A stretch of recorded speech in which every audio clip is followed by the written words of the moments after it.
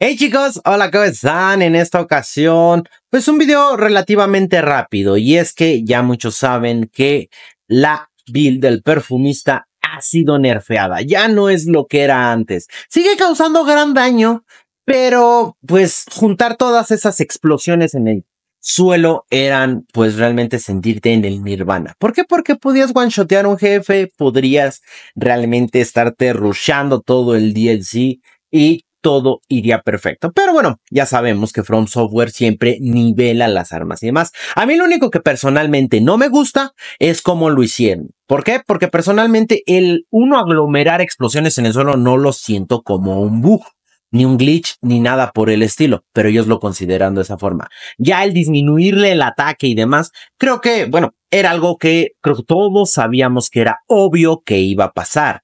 La más o menos también lo que le hicieron es a la a la pata de carne esta que está por acá, a ver, no sé si la tengo por aquí. Patita de carne, ¿dónde te me escondes? Ok, también le disminuyeron la acumulación de hemorragia, entonces las construcciones ya no bajan la misma cantidad de vida y también le hicieron eso a la ceniza de guerra del el PvP. El chiste de esto es que pues no, no es que la build sea ya inútil, ya no sirva para nada y cosas así por el estilo.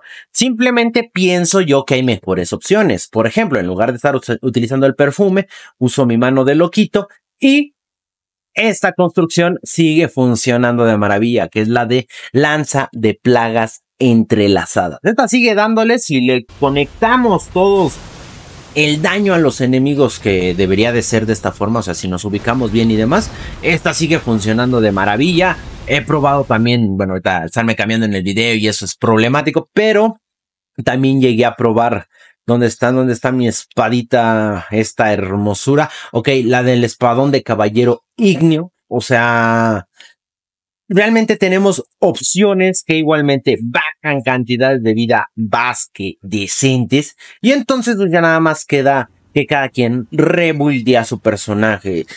Y es que sí, el nerfeo no es que, ay, es que ya como ya no rompe el juego, como ya no esto, ya no sirve. Pienso yo que no es eso, simplemente que al nivelarla, pues en ese preciso momento, por la cantidad de daño que podemos conseguir y demás situaciones, creo yo que sale más rentable utilizar otro tipo de armas, al menos a mi punto de vista. También pueden utilizar otras botellas de perfume. Recordemos que estas eléctricas eran las que estaban de cierta manera rotas, pero a fin de cuentas hay otras opciones bastante interesantes dentro del juego.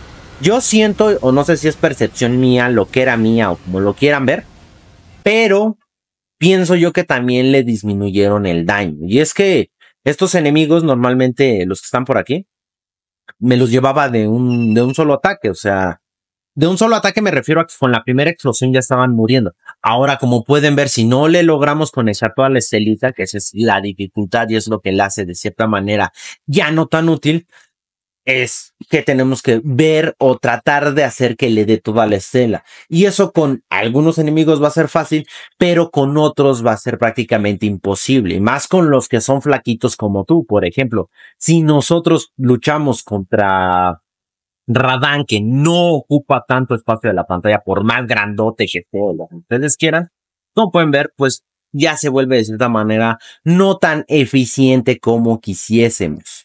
Eso es creo que el detalle que más le afecta a esta composición porque, bueno, tenemos muchísimas más opciones para poder hacer el, la misma cantidad de daño sin tanto tiempo de estar recargando, sin esperar que, por ejemplo, aquí le dieron tres explosiones para poderlo eliminar. Sí, no estoy bufeado y demás, pero en concreto fueron tres. Y entonces, por ejemplo, si nosotros venimos aquí con esta amiga que me va, siempre, siempre me hieres, así no, no sé por qué no. Por ejemplo, si le suelto este y estoy atrapado en medio de la nada, me la llevo con relativa más facilidad.